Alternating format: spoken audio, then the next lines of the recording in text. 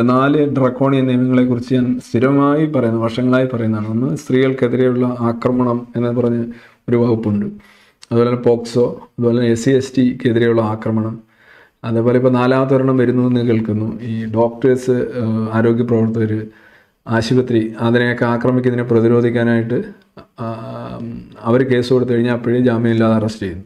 അപ്പോൾ പല രോഗികളും ചികിത്സയ്ക്കായിട്ട് വന്നിട്ട് ജയിലിൽ പോയി കിടക്കേണ്ട അവസ്ഥ വരാം. അല്ലെന്നുണ്ടെങ്കിൽ ഈ ആരോഗ്യ പ്രവർത്തകരും ഡോക്ടർമാരും നഴ്സുമാരും അവിടെയുള്ള സ്റ്റാഫും സെക്യൂരിറ്റിയൊക്കെ വളരെ വളരെ സത്യസന്ധരായിരിക്കണം നല്ലവരായിരിക്കണം. ആയിരിക്കാം പക്ഷേ എല്ലാവരും അങ്ങനെയല്ല. അപ്പോൾ ഇത് വളരെ വ്യാപകമായിട്ട് ഈ പരാതിക്കാരന് ശിക്ഷ വിധിക്കാൻ കഴിയുന്ന നിയമമാണ് ഈ നാലെണ്ണത്തിലുള്ളത്. പരാതിക്കാരൻ ശിക്ഷ വിധിക്കുക എന്ന് പറഞ്ഞു കഴിഞ്ഞാൽ അത് ഭയങ്കര ഒരു നിയമപര നിയമവാഴ്ചയ്ക്ക് തന്നെ ഒരു ഭീഷണിയായിട്ടുള്ള നിയമങ്ങളാണ് ഇതൊക്കെ. ഈ പോക്സോ കേസ് തന്നെ ജനറൽ ന്യൂട്രൽ ആയതുകൊണ്ട് ഒരു സ്ത്രീ അതിനകത്ത് ഉൾപ്പെട്ട് മകന് ഒരു ആരോപണം ഉന്നയിച്ചപ്പോഴാണ് അതിന്റെ ഒരു ഇത് ആളുകൾ ചിന്തിക്കാൻ തുടങ്ങിയത്. അത് അങ്ങനെ പാടില്ല ഒരിക്കലും. ഒരു ഒരു ഞാൻ പറയുന്നത് വീണ്ടും ആവർത്തിക്കുകയാണ് നിങ്ങൾ ചോദിച്ചുകൊണ്ട് പറയാണ്. ഒരു നാഗരിക സമൂഹത്തിലെ റൂൾ ഓഫ് ലോ എന്ന് പറഞ്ഞു കഴിഞ്ഞാൽ ഒരാൾക്ക് പരാതിയുണ്ട്. അയാൾ കോടതിയിൽ പോകണം തെളിവുകളുടെ അടിസ്ഥാനത്തിൽ ഡ്യൂ പ്രൊസീജിയർ എന്ന് പറയുന്ന സാധനമുണ്ട്. അതിലൂടെ കടന്നു പോയിട്ട് തെളിവുകൾ സമർപ്പിച്ചിട്ട് നിയമം അനുശാസിക്കുന്ന ശിക്ഷ ന്യായാധിപൻ വിധിക്കുന്നു. ഇതാണ് നമ്മളുടെ നിയമം. ഇവിടെ എന്താണ്? ഈ നാലെണ്ണത്തിനകത്ത് എന്താ കാണാൻ കഴിയുന്നത്? വാദി എന്ന് പറയുന്ന ആൾ പരാതിക്കാരൻ അയാൾക്ക് വായി തോന്നുന്ന പറയുന്നു.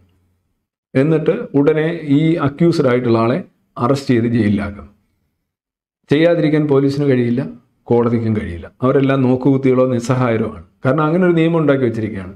ഒരു ഡ്രക്കോണിയൻ അന്ധ നിയമം ഉണ്ടാക്കി വെച്ചിരിക്കുകയാണ്. ഒരു അറുകൊല നിയമം ഉണ്ടാക്കി വെച്ചിരിക്കുകയാണ്. ഇവർ പതിനാല് ദിവസം നാൽപ്പത് ദിവസമൊക്കെ കിടന്നിട്ടിറങ്ങുന്നു. ഈ കേസ് കൊടുത്തവൻ അവൻ പൊടിയും തട്ടിപ്പോകുന്നു. അവനൊരു വ്യാജ ആരോപണം ഉന്നയിച്ചു അവനെതിരെ എന്തെങ്കിലും കുഴപ്പമുണ്ടോ? ഒരു കുഴപ്പമില്ല അപ്പോൾ അത് കൊള്ളാമല്ലോ ചുമ്മാ നമ്മൾ നാക്ക് വളയ്ക്കുമ്പോൾ ആളുകൾ അകത്ത് പോയി കിടക്കുന്നു. അവരെ ജീവിതം തകരുന്നു. അവരെ ഫാമിലി തകരുന്നു. ചിലപ്പോൾ അവർ സസ് സർവീസിന് സസ്പെൻഡ് ചെയ്യുന്നു. അവരെക്കെതിരെ സൈബർ പൊങ്കാല നടത്തുന്നു. ഇത് വലിയ യഥാർത്ഥ ടെററിസം നമ്മളിലൂടെ ലീഗൽ ടെററിസമാണത് അങ്ങനെയുള്ള നിയമങ്ങൾ ഒരു നാഗരിക സമൂഹത്തിൽ ഉണ്ടാകാൻ പാടില്ല. വാദിക്ക് ശിക്ഷ വിധിക്കാൻ കഴിയുന്ന നിയമങ്ങൾ ഏതൊരു നിയമവ്യവസ്ഥയിലും കൊണ്ടുവന്നു കഴിഞ്ഞാൽ അത് അങ്ങേയറ്റത്തെ അതിക്രമമാണ്. ഇത് നിങ്ങൾക്ക് മനസ്സിലാവണമെങ്കിൽ നിങ്ങൾ അതിന്റെ ഒരു പ്രേ ഇരയാകാൻ സാധ്യത ഉണ്ടോ എന്ന് ചോദിച്ചാൽ മതി. അത് പല രീതിയിലാണ്. ചിലപ്പോൾ നിങ്ങളൊരു ജാതി കൊണ്ടോ നിങ്ങളുടെ ലിംഗം കൊണ്ടോ അല്ലെങ്കിൽ നിങ്ങൾ ഡോക്ടർ അല്ലാത്തത് കൊണ്ടോ അങ്ങനെയൊക്കെ ആയിരിക്കാം. മനസ്സിലായില്ലേ?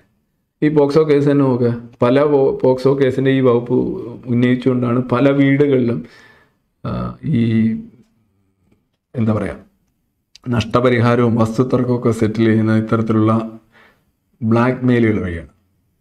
ഇന്ത്യയിലല്ല കേരളത്തിൽ രജിസ്റ്റർ രജിസ്റ്റർ ചെയ്യപ്പെട്ട പോക്സോ കേസുകളുടെ എത്രയോ ഇരട്ടി ബ്ലാക്ക് മെയിലിംഗ് നടക്കുന്നതാണെന്നറിയാം ഒരുപാട് പേര് എന്നോട് പറയാറുണ്ട് ഞാൻ എനിക്ക് അതിന്റെ അനുഭവം പലരിൽ നിന്നും കേട്ടുള്ള ഒരു പരിചയം കൊണ്ട് കൂടി പറയുകയാണ്.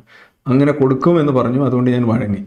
കാരണം എന്ന് വെച്ചാൽ അങ്ങനെ കൊടുക്കുമെന്ന് പറഞ്ഞു കഴിഞ്ഞാൽ കൊടുത്തു കഴിഞ്ഞാൽ ഈ കൊടുക്കുന്ന ആൾക്ക് യാതൊരു തെളിവും തരണ്ട. അയാൾക്കൊരു വ്യാജ ആരോപണം ഉന്നയിച്ചാൽ മതി. മറ്റേയാളുടെ ജീവിതം തകർന്നു പോകും. ചിലപ്പം അയാൾ ഈ പറഞ്ഞ ഒരു മീറ്റർ കയറൽ ഇപ്പോൾ ഒരു മുഴമെന്ന് പറയാൻ പാടില്ലല്ലോ.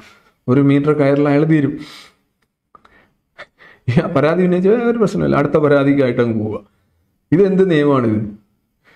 ഇത് അല്ലെന്നുണ്ടെങ്കിൽ ഈ അവശ്യ വിഭാഗങ്ങളെ അല്ലെ ആശുപത്രിയിലെ ഡോക്ടർമാരെയും അവർക്കെതിരെയുള്ള ആക്രമണം തടയണം അല്ലെ പട്ടികജാതിക്കാർക്കെതിരെയുള്ള ആക്രമണം തടയണം അല്ലെ സ്ത്രീകൾക്കെതിരെയുള്ള ആക്രമണം തടയണം അല്ലെങ്കിൽ കുട്ടികൾക്കെതിരെയുള്ള ആക്രമണം തടയണം. നല്ല ഇന്റൻഷൻ തന്നെയാണ്.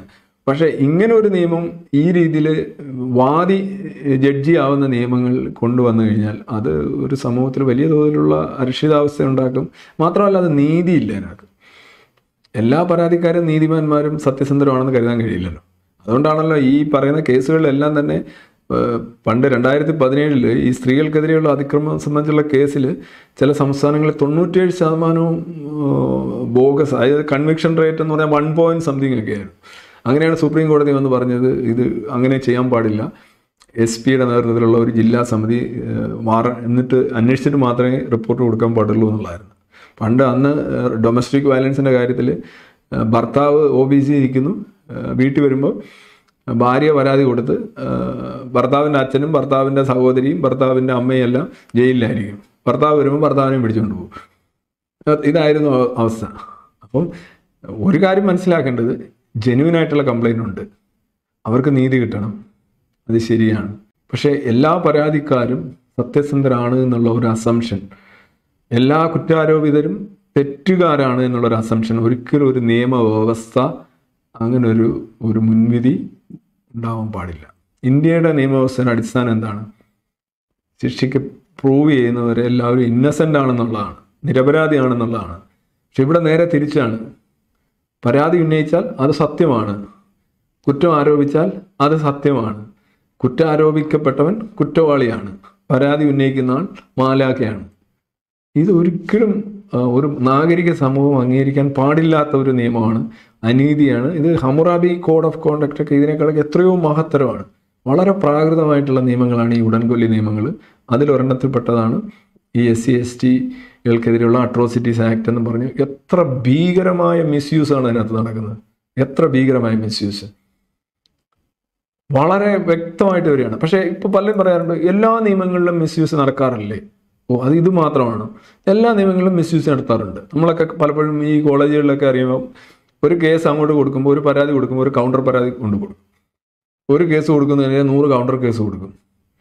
ഇതെല്ലാം മിസ്യൂസ് തന്നെയാണ് അബ്യൂസ് തന്നെയാണ് എക്സസ് ഓഫ് പവറാണ് പക്ഷെ അതിലൊന്നും ഈ കുറ്റം ആരോപിക്കപ്പെടുന്ന ആൾക്ക് പോയി ഉടനെ പോയി ജയിലിൽ കിടക്കേണ്ടി വരികയോ അയാളുടെ ഇമേജ് നഷ്ടപ്പെടുകയോ കുടുംബം നഷ്ടപ്പെടുകയോ തൊഴിൽ നഷ്ടപ്പെടുകയോ ഒന്നും ചെയ്യുന്നില്ല. അയാൾക്ക് പറയാൻ കഴിയും ഇത് കള്ളപ്പരാതിയാണ്. ഏഹ്? അതേപോലെയാണ് ഒരു പോക്സോ കേസിൽ വെറുതെ ഒരാളെ എന്ന് ആരോപിച്ചാൽ അങ്ങനെയാണോ സംഭവിക്കുന്നത്? അല്ല. അല്ല ഒരു S C S T atrocities act എന്ന് പറഞ്ഞ്. നമ്മൾ അറിവ് പോലും ഉണ്ടായിരുന്നു. അയാളുടെ ആളുകളിലേക്ക് ജാതിയും മതവും ഒക്കെ നോക്കിയിട്ടുണ്ടോ നമ്മൾ എന്തെങ്കിലും ചെയ്യുകയും സംസാരിക്കുകയും ചെയ്യുന്നത്. ഒന്നുമല്ല. നമ്മൾ ഒരാളോട് സംസാരിക്കുന്നത് എന്തെങ്കിലും സംസാരിച്ച് പ്രശ്നമുണ്ടോ അയാൾ ഉടനെ കൊണ്ടുവന്ന് ഇതനുസരിച്ച് കേസ് കൊടുക്കുന്നു. എങ്ങനെ ഉണ്ടാവും? ഇപ്പൊ ഈ കേസിൽ തന്നെ നിങ്ങൾ ഈ പറഞ്ഞ ഈ കേസിൽ തന്നെ ഉദ്ദേശിക്കുന്നത് ഈ പറയുന്ന ആൾ പട്ടികജാതിക്കാരനാണെന്ന് അറിഞ്ഞു വെച്ചുകൊണ്ട് അയാൾക്കെതിരെ രാഷ്ട്രീയ വിമർശനം നടത്തി അതും ഇതിനകത്ത് വരുമെന്നാണ്. രാഷ്ട്രീയ വിമർശനം നടത്തുമ്പോൾ തന്നെ നിങ്ങൾ ആളുകളുടെ ജാതിയും മതവും സ്ഥലവും ഭാഷയും ലിംഗവും ഒക്കെ നോക്കണം എന്നുള്ള അവസ്ഥയാണ്. ഇതൊന്നും നിയമമല്ല. ഇതൊന്നും നീതിയല്ല. നിയമവിരുദ്ധമാണ്. നീതി വിരുദ്ധമാണ് അത് സത്യത്തിൽ ഈ നിയമം ഉണ്ടാക്കുന്നവരാണ് ഇതൊക്കെ അങ്ങേയറ്റം ശ്രദ്ധിക്കണം. ഇത് ഇതിന്റെ പ്രിവിലേജ് കിട്ടുന്നവർക്ക് കുഴപ്പമില്ല. കൊള്ള. ആനപ്പുറത്തിരിക്കുന്നു. ഞാൻ കരുത്തനാണ് എന്ന് തോന്നുന്നു. പക്ഷേ അങ്ങനെയല്ല. നീതി എന്ന് പറഞ്ഞാൽ അങ്ങോട്ടും ഇങ്ങോട്ടും പോകാൻ കഴിയുന്ന ഒരു പാലമായിരിക്കണം വൺ വേ ആയിക്കഴിഞ്ഞാൽ ആ നീതിയൊക്കെ അടിസ്ഥാനപരമായി ചോദ്യം ചെയ്യപ്പെടുക തന്നെ ചെയ്യും. ഓക്കെ